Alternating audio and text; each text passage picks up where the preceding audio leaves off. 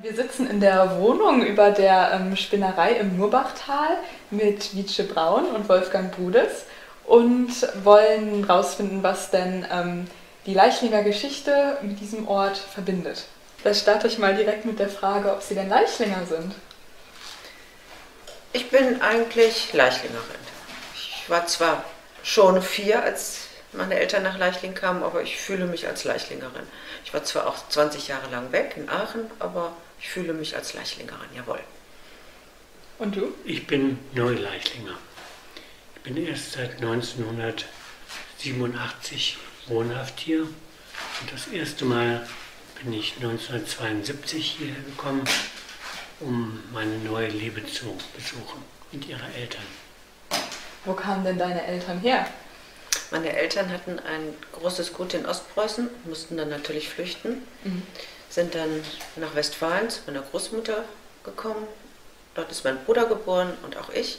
Und als ich dann, wie gesagt, vier war, sind wir hierher. Meine Eltern wollten dann gerne wieder auf kleinerem Grundstück Landwirtschaft betreiben und haben das dann hier entdeckt. Und dafür bin ich ihnen auch sehr dankbar, dass sie dieses idyllische Fleckchen gefunden haben. Also die äh, Spinnerei ähm, hat äh, deine Familie immer schon begleitet. Ähm, was verbindet dich denn mit der Spinnerei hier im Murbachtal? Zum einen ist es natürlich mein Elternhaus und das hat mir feste Wurzeln gegeben. Zum anderen haben meine Eltern mich und wenn ich das vorziehen darf, Wolfgang auch, äh, schon früh an Kunst und Kultur herangetragen. Und als wir dann nach dem Tod meiner Eltern hierher kamen, haben wir, meine ich, erkannt, dass wir hier ja kulturell aktiv werden können. Und, und dann zusätzlich mit der Geschichte, die die alte Spinnerei hier hat, fanden wir das ganz äh, passend für unsere Lebenssituation damals. Welche Geschichte? Das ist ja eine alte Mühle aus dem 14. Jahrhundert es war Harnischpoliererei, Drahtzieherei, Schalenschneiderei. Und 1856 wurde dann auf den Grundmauern der alten Mühle diese kleine Fabrik aufgebaut. Und dann war es als erstes eine Wollspinnerei. Und da das so schön doppeldeutig ist, haben wir gesagt, wir nennen das hier Spinnerei. Und das passte dann auch gut zu uns. Dann haben wir auch gleich mit Kunst und Kultur angefangen. Dann äh, würde ich gerne noch mal einen Schritt zurückgehen. Wie war denn die Kindheit hier im Murbachtal? Äh, wie gesagt, es gab damals keine Kindergärten und mein Bruder und ich, der ist drei Jahre älter, wuchsen hier alleine auf. Wir hatten allerdings auch einen großen Familienkreis. Zum Beispiel kamen die, die Familien meiner Mutter aus Düsseldorf fast jedes Wochenende. Die hatten auch drei Kinder, die auch in unserem Alter waren. Das war natürlich traumhaft schön. Und die nahmen übrigens eine schöne Geschichte, die nahmen immer Quellwasser mit. Wir hatten damals eine Quelle, weil das Wasser in Düsseldorf so schlecht war. Und dann haben die sich immer in großen Flaschen das Wasser abgefüllt und das Leichlinger Quellwasser mit nach, so, mit nach Düsseldorf genommen. Das war ganz schön. Ansonsten, was ein großes Glück für mich war, unten in Balken gab es eine Familie und wir haben uns sofort kennengelernt. Meine Freundin Astrid, die ist zwei Monate jünger als ich. Und wir haben hier ganz viel zusammen gemacht und das war wirklich eine richtig schöne Kindheit. Ich erinnere mich gar nicht, ob wir Spielzeug hatten. Ich meine nicht, denn wir haben von Anfang an Hühner gehabt und wir hatten Gänse und Schafe und Gemüsegarten. Wir sind im Wald rumgelaufen und auf dem Hosenboden die Hänge rauf und runter. Das war für mich sehr schön. Und dann gab es in Balken noch auch Kinder, zu denen ich auch ab und zu ging. Da haben wir Räuber und Gendarm gespielt mhm. und uns in Scheunen versteckt. Insgesamt eine sehr schöne Kindheit, das sah auch auf den Fotos schon ähm, nach einer tollen Zeit aus. Ähm, wie war das denn im Winter hier? Wir sind alles Dezemberkinder.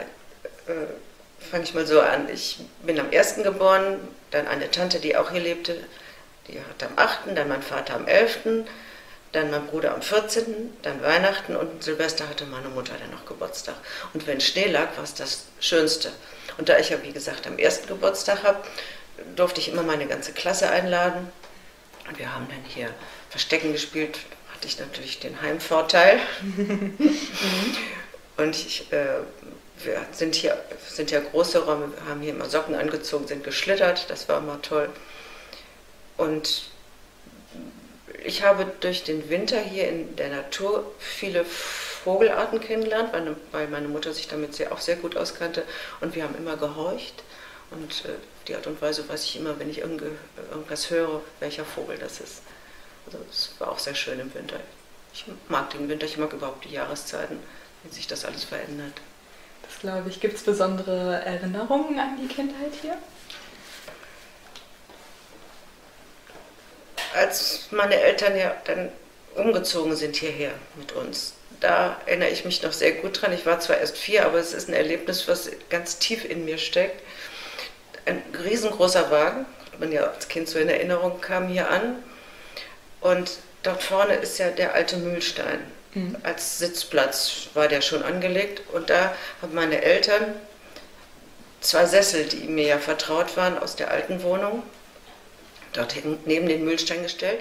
Und ich, die Kleine, setzt sich in diesen Sessel, guckt so rum und denkt, hm, aha, das ist wohl so meine neue Heimat. Also dieses Gefühl, da zu sein und anzukommen und in dem geborgenen Sessel, das war einfach toll. Deswegen ist es mir äh, sehr stark in Erinnerung. Was ich auch sehr schön fand, war, mein Bruder ist ja drei Jahre älter und ich war ganz begierig darauf, endlich in die Schule zu kommen, weil ich auch das lernen wollte, was er, was er, dann, nur so schon konnte. Und ich kam dann natürlich mit meiner Freundin Astrid in die gleiche Klasse. Wir saßen auch nebeneinander und hatten den Lehrer Pappert und das war ein ganz toller Lehrer.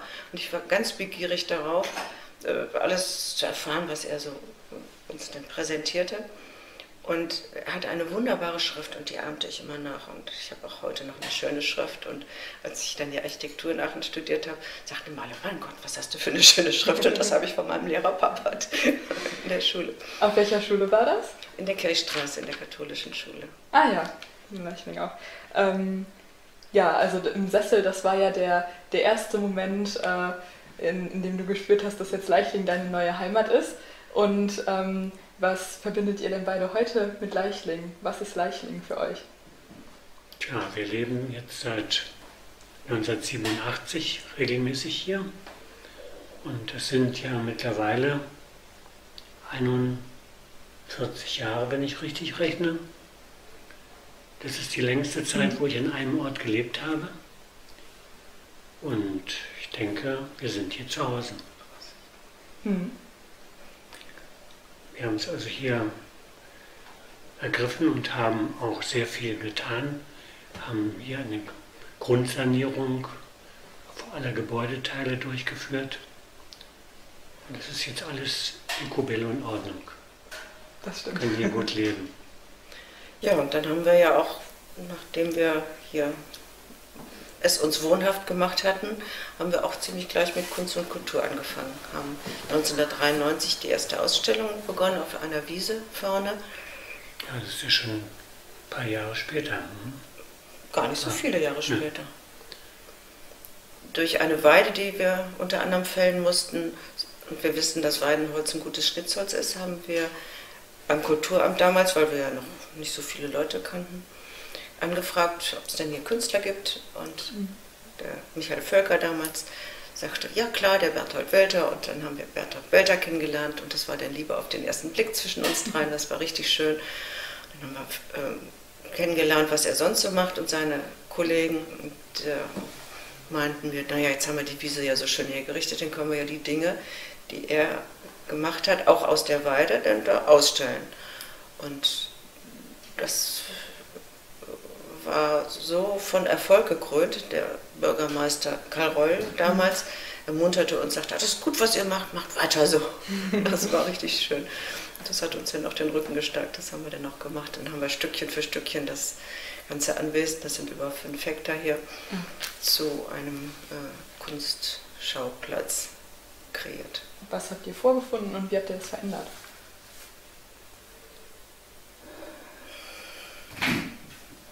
Wie haben wir das Gebäude vorgefunden? Eigentlich so, wie es ist.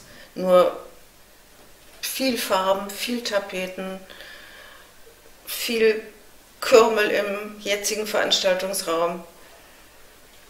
Eine Heizung, die sofort eingefroren war, als wir es übernommen haben. Also wir haben eine Grundsanierung gemacht. Ja. Mit viel Aufwand. Wir haben Gott sei Dank beide zwei rechte Hände, konnten viel selber machen. und haben bisschen was verändert, aber nicht so sehr viel, weil 1915 hat das gesamte Anwesen ein Solinger Fabrikant erworben. Und der hat in diese obere äh, Etage, unten war es äh, Fabrik, oben war es Fabrik, in diese obere Etage hat er eine Wohnung einbauen lassen. Und zwar mit viel Aufwand und sehr geschmackvoll. Mit so Kölner Decken, wie es ja auch hier ist. Mhm. Und das ist alles original 1915. Und auch die Holzdielen sind original. Wir haben alles eigentlich im Grunde nur zurückgebaut. Wir haben hier die Farben alle wieder rausgeschmissen, mhm. wir haben Teppich und, und Anstriche rausgemacht und haben also den ursprünglichen Zustand hergestellt und alles saniert. Natürlich neue Elektroleitungen, neue Heizung reingebaut. Und unten im Veranstaltungsraum hatten meine Eltern als erstes Hühner. Bis zu 400 Hühner hatten wir. Habe ich übrigens immer die Eier rumgefahren, auch zum Stadtdirektor zu allen möglichen Leuten, immer mit zwei Taschen. Dem Fahrrad natürlich, mit ja. dem Fahrrad. Und wenn kein Ei kaputt war, habe ich am nächsten Mal, beim nächsten Mal habe ich den Groschen gekriegt als Trinkgeld. Das war natürlich mal toll. Jedenfalls unten waren natürlich die ganzen Verschläge von den, mhm. von den Hühnerstellen und, und was da so alles drin war. Und wir haben einen Freund, der hat eine Baufirma, der hat gesagt, räumt alles aus, ich schicke euch einen Sandstrahler, weil da natürlich Farbschichten waren und was da alles war. Rost. Viel Rost, ja. Und das haben wir gemacht mit großem Aufwand. Aber wir sind heute sehr dankbar dafür, weil jetzt ja ein schöner Veranstaltungsraum entstanden ist, in dem wir ja, Das war der Grundschritt. Danach folgte noch viel Arbeit.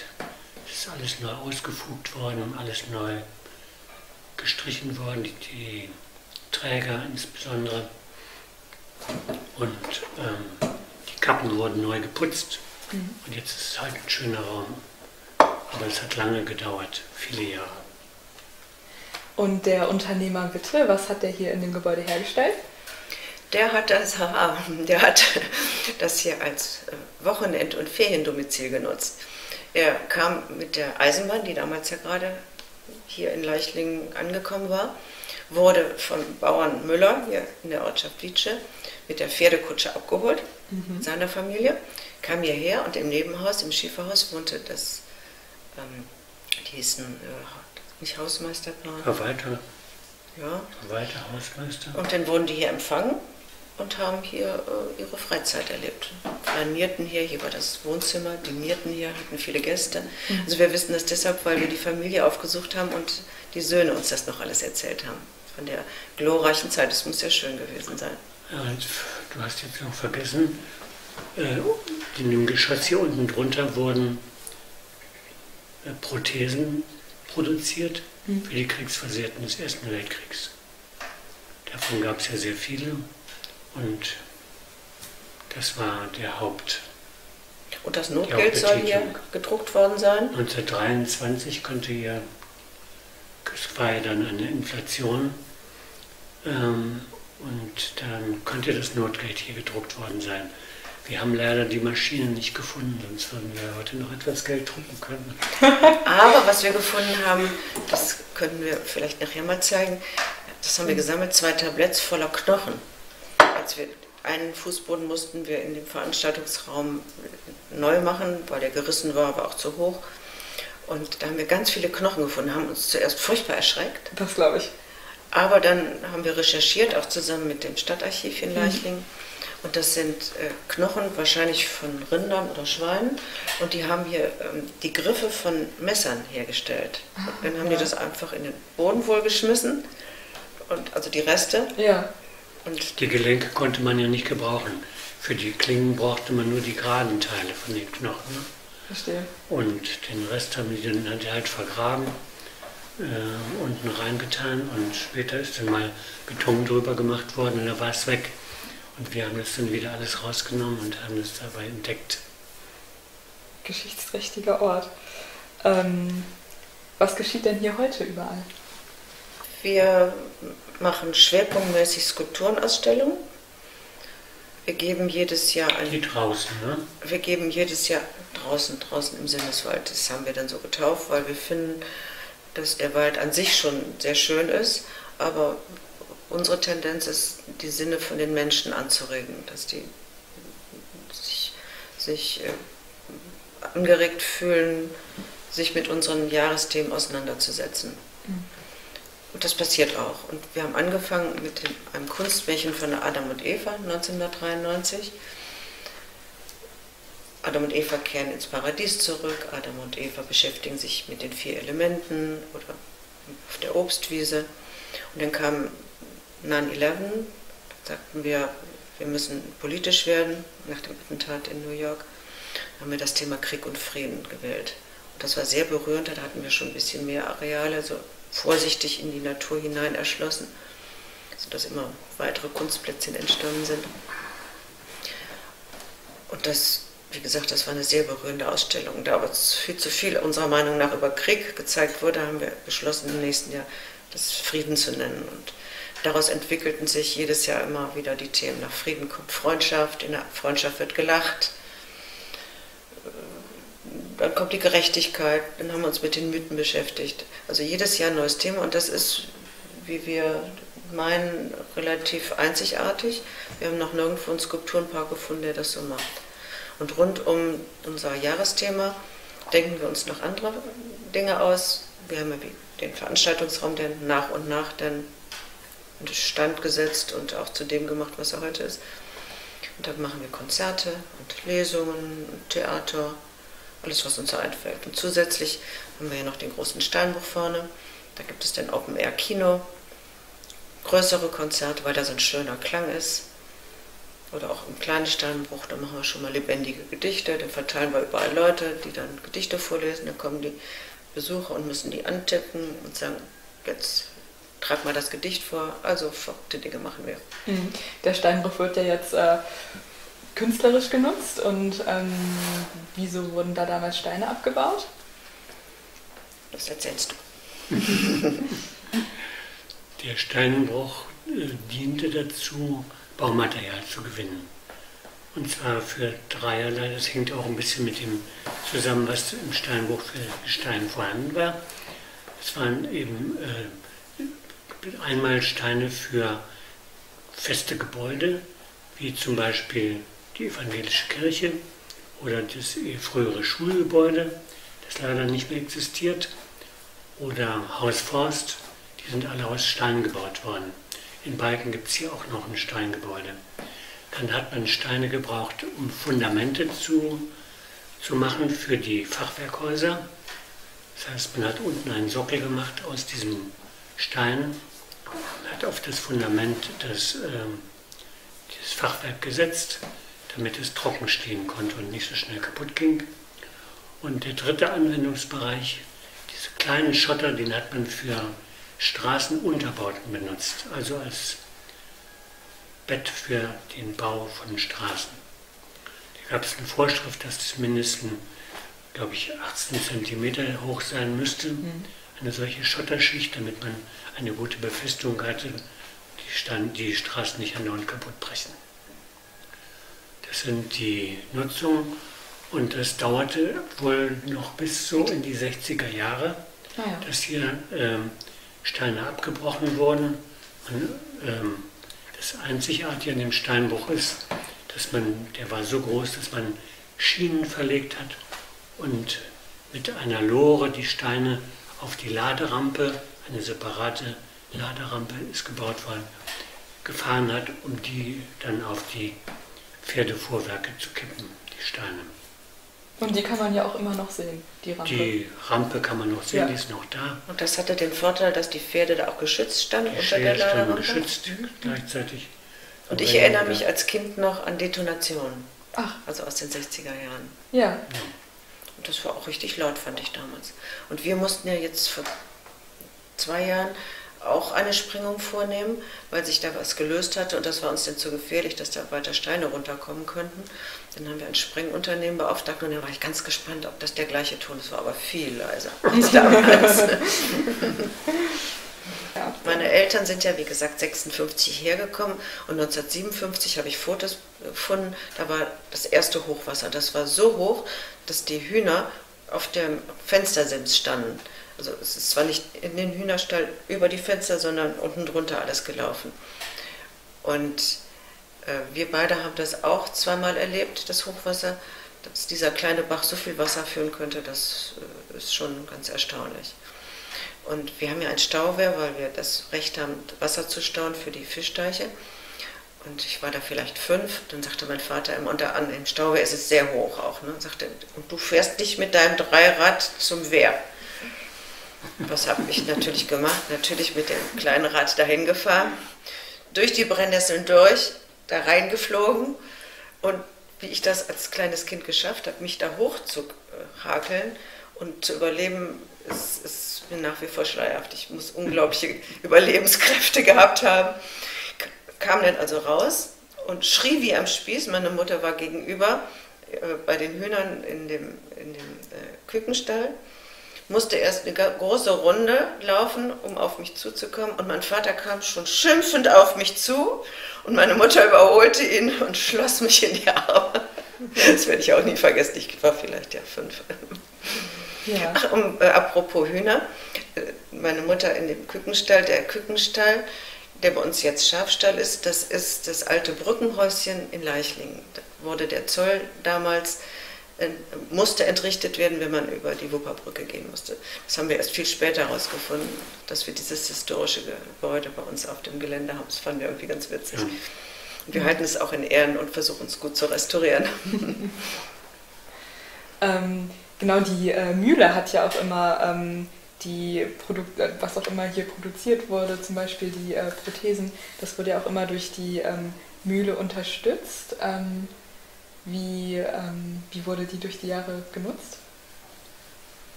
Deine Eltern ja nicht mehr, ne? Den Wasserantrieb. Die Welle existiert von dem Mühlrad noch. Mhm. Das Mühlrad befand sich hier dahinter, außerhalb des Gebäudes. Und das Wasser fiel dann nach dem Mühlrad runter in einen Graben, der unterirdisch ist. Der ist also abgedeckt. Und der Tunnel, der der Graben geht wieder zurück zum Bach. Das ist noch vorhanden und man kann da auch in den Raum reingehen und kann da so etwas gebückt bis vordringen, bis zu der Stelle, wo das Mühlrad war. Aber das Mühlrad, der Antrieb wurde wahrscheinlich mit der Einführung der Elektrizität dann stillgelegt. Vorher hat man noch die Spinnenmaschinen damit betrieben. Und zwar dann mit einem ja, mit so einem ähm, System von Vorgelegewellen, mhm. von Wellenrädern und Riemen. Die Wellen waren unter der Decke montiert und mit über diese Riemen, über die Tran Transmissionsriemen hat man dann die Maschinen angetrieben. Zu Zeiten meiner Eltern haben wir das Wasser des Murbachs abgeleitet für die Fischteiche. Wir hatten immer Fischteiche mit Forellen und Karpfen dran. Aber nicht mehr für Maschinen. Nicht mehr für den Forellenzuchtbecken haben meine Eltern hier vorgefunden, noch von dem Solinger Fabrikanten. Der hatte selber gezüchtet, aber meine Eltern haben kleine Forellen dazu gekauft. Also wir haben nur Hühner gezüchtet, Gemüse und Gänse und Schafe. Und die Spinnerei war in Betrieb, äh, bis der Solinger Unternehmer kam? Oder zu welcher Zeit ähm, war das? Das ist nicht ganz ja, genau wissen wir nicht ganz verbirgt. Genau, ja. Ah, ja. Wir wissen nur verschiedene Nutzungen. Okay. Aber in welcher Reihenfolge? Aber wir wissen, dass es als erstes eine Wollspinnerei war. Okay. Also da wir das genau dem, wissen. Nach dem Fabrikbau, ne? nach dem jetzigen ja. größeren ja. Fabrikbau von 1856 war es eine Wollspinnerei. Wie lange sich das dann hingezogen hat, also betrieben worden ist, wissen wir nicht. Wir wissen nur, dass 1915, 16 dieser Solinger Fabrikant das ganze Anwesen erworben hat und dann eben hier oben. Und was wir noch wissen, ist, dass es zu Zeiten der Fabrikation sechs Mitarbeiter gab, Ach, die ja. hier beschäftigt waren. Ja. Und wir vermuten, dass die auch im, in der Ortschaft äh, gelebt haben, denn da gibt es mehrere kleine Häuser, die darauf von der Bausubstanz her schließen lassen, dass die in der Zeit auch gebaut wurden. Und das hier nach dem Krieg 56 war eine Wohnungsnot, die Ausläufer des Stimmt. Krieges. Und hier wohnten mehrere Parteien in dem Haus. Ach, ja. hier also im Haus und auch drüben im Haus. Ja. Dass die, und wir hatten dieses Zimmer und die Küche und ein Schlafzimmer. Und alle anderen Zimmer waren bewohnt mit anderen Familien. Also das, müsstest du Das war schon, mal neu erzählen. das war schon auch gewöhnungsbedürftig. Ich meine, ich fand das als Kind zwar schön, dass wir alle in einem Zimmer waren, aber und was meine Eltern viel gemacht haben, das ist vielleicht heute ganz interessant, dass die diese, wie heißen die, Gastarbeiter aufgenommen haben. Ach ja, also deine Eltern kamen selbst als, Als ähm, Flüchtlinge, als Flüchtlinge hierher, hierher. und waren dann offen für die Gastarbeiter, die wir ja dann hier in Deutschland augenscheinlich brauchten. ja, Und ich als Kind fand es natürlich toll, die verschiedenen Kulturen kennenzulernen. Von, äh, meine Eltern hatten äh, Italiener und Türken, Griechen und die kochten alle ganz anders und ich fand, die rochen auch anders, aber ich war da immer ganz neugierig, wie die so lebten, wie die sprachen. Ich habe auch in den alten Fotos auch äh, gefunden, äh, eine Spanierin, Spanier waren ja noch dabei, mit der ich mich angefreundet hat, die war so alt wie ich. Und ich war groß und sie war klein, war ja nun mal so. Und äh, da habe ich dann Einblick bekommen über diese Gastarbeiter in die verschiedenen Kulturen. Deswegen habe ich überhaupt nie äh, äh, Probleme gehabt, auch mit anderen Völkern Kontakt aufzunehmen. Dadurch, dass ich das früh kennengelernt habe. Und wir hatten natürlich einen großen Nutzgarten. Da haben diese Familien auch äh, Gemüse angebaut. Und Gemüse zum Teil, die ich von meinen Eltern her gar nicht kannte. Das fand ich auch ganz spannend. Mhm. Dadurch auch einen Einblick bekommen. Was mir noch einfällt, ist, dass ich als Jugendliche, meine Eltern hatten natürlich nicht viel Geld, klar, habe ich versucht, äh, mir was auszudenken, wie, wie kann ich äh, als Heranwachsende was machen. Da ich immer schon gerne gelesen habe, bin ich in der Bücherei vorstellig geworden und siehe da, ich habe einen Schülerjob bekommen. Und da bin ich auch heute noch ganz stolz drauf, dass ich dann die Frau Schreier, die damals die Leiterin war, dazu bringen konnte, dass wir zusammen die Kinderbücherei aufgebaut haben. Das fand ich auch ganz schön. Ach, eine, eine äh, Tätigkeit, die wir noch betreiben, ist, äh, das heißt wir, das Standesamt betreibt. Wir haben seit drei Jahren Vier Jahren. oder vier Jahren, kann man sich hier auch trauen lassen. Kommt die Standesbeamtin dann her und das Ganze findet unten statt oder auch hier in diesem Raum Oder am oder Mühlstein. am Mühlstein. Haben wir alles schon gehabt, aber schwerpunktmäßig unten. Und das ist immer sehr schön. Er freut sich auch großer Beliebtheit. Die Menschen sind so glücklich und dankbar und zufrieden. Macht viel Spaß mit den Trauben. Was wir auch noch machen ist, ähm, ich bin als Schülerin äh, schon in, mit der Städtepartnerschaft nach Frankreich gefahren. Die französische Sprache fand ich faszinierend und gefiel mir. Und ich war französisch relativ gut. Und als wir dann zusammen dann hierher gekommen sind, äh, haben wir gesagt, okay, dann beleben wir das mal wieder auf und machen da mit. Und äh, haben es auch von Anfang an gemacht und haben jetzt mittlerweile seit 20 Jahren diese Bürgerreisen, ich sag mal, angereichert mit Kultur. Das heißt, wir stellen Leichlinger Künstlerinnen in Marly-le-Roi aus. Und umgekehrt, wenn wir da sind, suchen wir nach Künstlern, die wir dann, wenn die dann kommen, hier im Leichlinger Bürgerhaus ausstellen. Und das machen wir beide. Auch zu unserer Freude. Ich denke, das ist auch noch ein schöner Aspekt, der auch bei der Bevölkerung gut ankommt. Vielleicht sollten wir noch mehr auf eure Lebensgeschichten eingehen. Ähm, was ist denn passiert, als du dann aus Leichling weggezogen bist? Ich war auf dem Marianum bei den Schwestern. Da habe ich auch Bilder gefunden, die haben uns natürlich hier auch besucht mit den Ordensschwestern. Und dann habe ich Abitur gemacht und bin dann nach Aachen gegangen. Aachen fand ich irgendwie faszinierend, weil ein alter Schulfreund von mir, der ist dahin gegangen, dachte ich auch, Aachen ist nicht so weit weg von zu Hause, aber ist doch weit weg genug, dass ich nicht mehr zu Hause wohnen musste. Ich wollte ja raus, ich bin so eine typische 68er eigentlich. Und habe ziemlich bald dann den Wolfgang kennengelernt. Wolfgang war schon äh, selbstständig, hatte ein Büro. Ich habe dann trotzdem erst Germanistik und Philosophie studiert, aber durch die Beeinflussung von ihm, er machte schon äh, Großprojekte, Krankenhäuser, Altersheime, Behindertenzentren, habe ich dann auf Architektur umgesattelt und habe dann nach und nach immer mehr auch im Büro gemacht und dann haben wir Gut zusammen zusammengearbeitet. ja, und das fand ich natürlich ganz toll, dass wir zusammen unser Büro und Berufszeit verbrachten.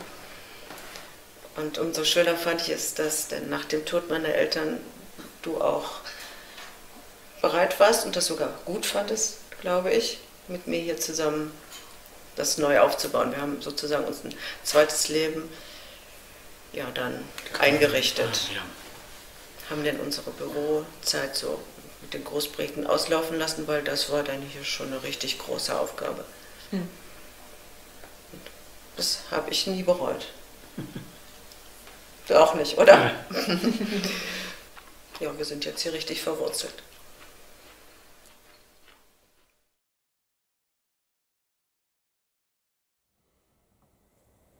In Diepenthal, ja.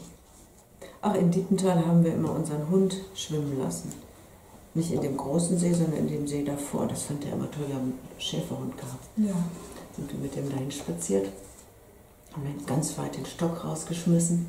Auch für uns war das die Herausforderung, den Stock so weit wie möglich rauszuschmeißen. Und der Hund dann dahin. Und hier sieht man auf dem Hof auch die Hühner laufen. Warte, wo war das? Hier. Ja. Das ist hier das Garagengebäude. Da war unser Hund. Das bin ich auch. Als wir noch gesagt haben, seid ihr wahnsinnig, könnt ihr das Haus nicht abreißen. Hier ist noch das Haus an der Kirche. Das, ist die Ecke von der Kirchstraße und da geht- ist die Märzgässchen. Und da ist ja so ein Eckbau mit Mehrfamilienhäusern. Die sind schön. Hier unten in Walken gab es eine Müllhalde. Da, wo die alte Fabrik stand Ja. früher, entlang der Wupper. Und da und unten in Walken lebte ein Schlosser. Der hat für seine Enkelkinder Schaukeln, Wippen, alles Mögliche gebaut. Und die waren so mein Alter und ich war da auch oft. Und für uns hat er dann auch diese Hollywood-Schaukel gemacht. Das fand ich natürlich wunderbar. Das ähm, Esszimmer Ja. und da war der Tisch, der jetzt unten als Trautisch dient. Ah, ja. Über diesem Tisch hing dieser Kronleuchter, den haben wir jetzt drüben im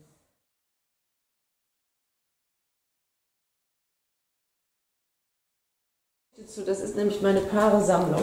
Ich hatte einen Freund, der schon in Aachen studierte und der sagte, ich kenne einen, der hat ein Haus, der lebt da jetzt allein, die haben sich getrennt, der Wolfgang hatte vorher eine Beziehung und das Haus ist groß, bei dem arbeite ich ab und zu und da kannst du bestimmt mal wohnen.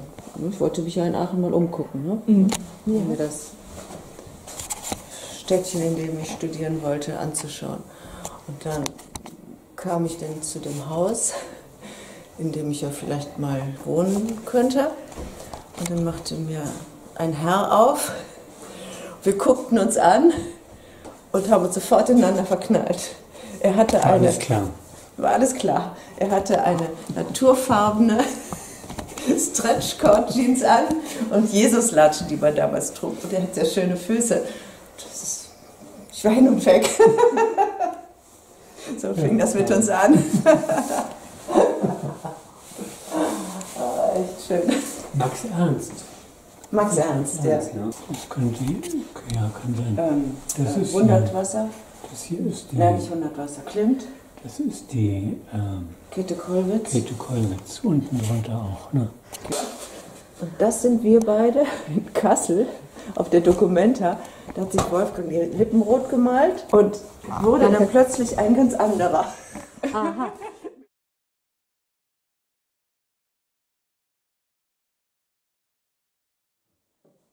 wohne zwar mitten in der Stadt in Köln, aber ähm, direkt neben mir um die Ecke ist ein, ähm, das ist ein äh, Biobauer, der Ja.